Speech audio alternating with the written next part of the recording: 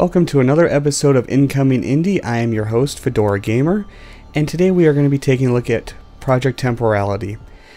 As with any game on Incoming Indie, these are very early development builds. This is a alpha build. And uh, this game is currently on Indiegogo to try to get funding to finish the game. I will probably... I'll do one I've already done. Just so you don't have to watch me derpy my way through. This was developed by a small team of Swedish developers. It has been in development for three years, and one of the more in, uh, impressive parts is that it uses a custom game engine, which anyone that knows even the slightest bit about game development knows that is a ton more work and development time. But there is no engines out that could do what they wanted it to do, so they made their own game engine. This this game is well, more or less is a puzzle platformer with time manipulation, time clones, and time stream crossing mechanics. It gets really complex, actually. Okay. This, this part's simple. I need to get across, but somebody has to be on the button. So I will rewind time. Give me a little bit of time here then spawn a time clone that will do exactly as I had done. And the where you had stopped, the clone will then just stop there indefinitely until you finish the level. This puzzle is actually kind of long and very, very vast. You see the blue bar at the top there. I am kind of stuck in the world a little bit. As I said, this is an alpha. There we go. That blue bar at the top is your battery for the implant, the temporality, temporality, that's a hard word, implant that allows you to do all of this. And uh, you got to manage that. The more you rewind before you spawn a time clone, the more energy it takes. So you try have to try to do stuff as efficiently as possible. Okay, those switches control this. So we want to move it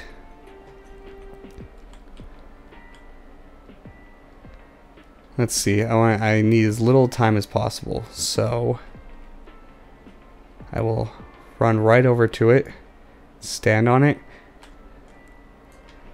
then rewind to about there, spawn that clone. That clone will go and stand on the switch, and I will continue on. It actually gets pretty mind-bending in some of the harder puzzles. The next level I haven't quite figured out yet, actually.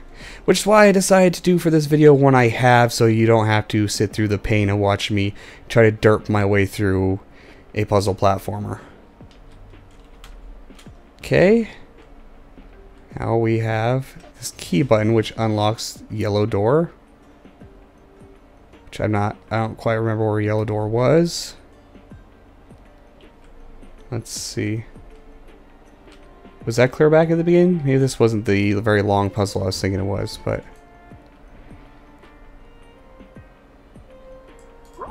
Go?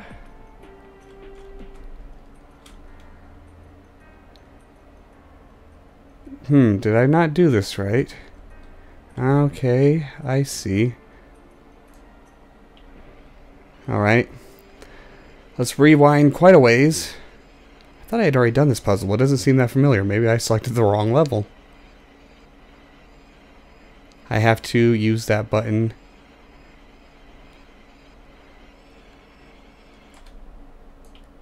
Okay. Actually, I'll reabsorb that clone and start over here. I don't remember this being this difficult.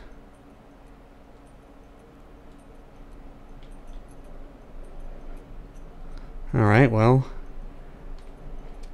I'll stand on the button. Time clone it. Let that get to the end. Give it some time at the end. And then have another time clone. Press the back button. But I gotta give enough time at the end for me to hit that button with a time clone and get back onto the platform after the key button is pressed. Okay. Give it like another five seconds. One, two, three, four, five. Actually, I don't want to rewind yet. I want to step on it. Then rewind very little. No. I, I have to rewind to before the button was pressed. So it's going to take a large chunk of my implant's battery. Ooh, almost rewound too far. Okay. Uh, jump. Ooh, I got it. And I, I hope my other clone does what it's supposed to, which is derping around like I was right now. And I'm getting instant messages. Ignore that. Rewind just... Huh, I'll rewind until I'm standing on the platform, actually. There you go. Go hit that. This other one should move me back. For an indie game, graphically looks pretty good. A little buggy, and controls and camera angles certainly need some work, but as I said, this is a very early alpha. The movement definitely feels really floaty.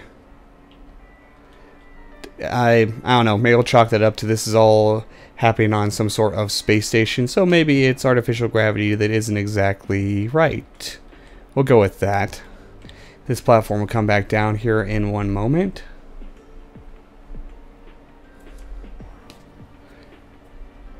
Uh, one thing I will note is uh, the, probably the music isn't recording and maybe the sound effects aren't either. My recording software just was having issues recording it for some reason. I'm not entirely sure why. Maybe because it's using a custom engine and things that use custom engines are sometimes goofy with recording software. Okay, then I need to time clone myself again. And I'll just go right here.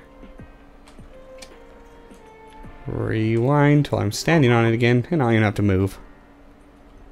It's very clever use of the time stream manipulation, though it does certainly take a little bit to get your brain wrapped around it, and there's more complex complex mechanics involving it later on that gets just really kind of mind-melting. Okay, and that opened yellow door, which is up here. Alright used up a good one third of my implant's power. It's an interesting storyline. You're a test subject for this implant, and you can find some uh, lore books like logs and such laying around that are pretty much of scientists that were put on the project questioning the morality and the implications of what it is they're trying to, to design. Okay, I need the red button, which is in there. Right. Was there a... No, that's...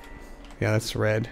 And then in the red will be for the green. I'm trying to remember how I exactly did this one.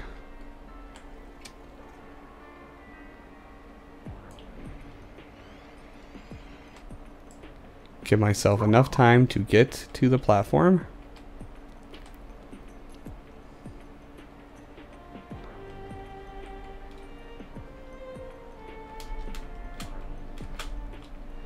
Then I need to step on this. And I'll just rewind till I was back at the platform. And let my time clone go do all the jumping. That should open that. Yes, it does. And I believe I will just pretty much have to do the same thing here.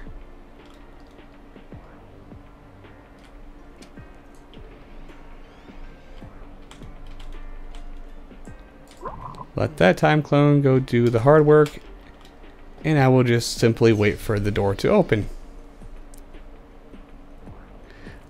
I'm really liking it, even though I'm not much for puzzle games. This one is quite, well, challenging mentally. It's not so much about Twitch platforming skills as it just is mental, figuring out the right order and the timing. A lot of it has to do with timing. Which, you know, it's a time game. Okay, like this one. This one introduces the laser, which doesn't kill you, but pushes you off platforms, which then kills you. You have two buttons here. One is automatic. Once you press it, the platform just keeps moving. One has to, you have to remain standing on it. And this one took me quite a while to figure out yesterday, actually. So let's see if I can remember how to do this. This is the one that stops once you're off of it. And I want to stop it in the right place where that pillar protects me from the laser. Gotta wait till, for the laser to be going back the other direction.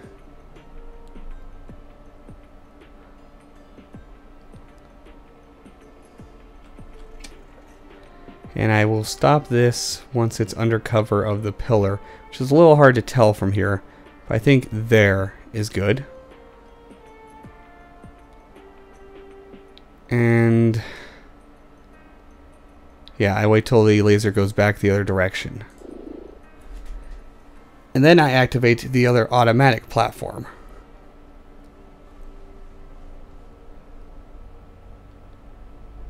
Wait till it gets past where I will be standing once I am putting this all into play.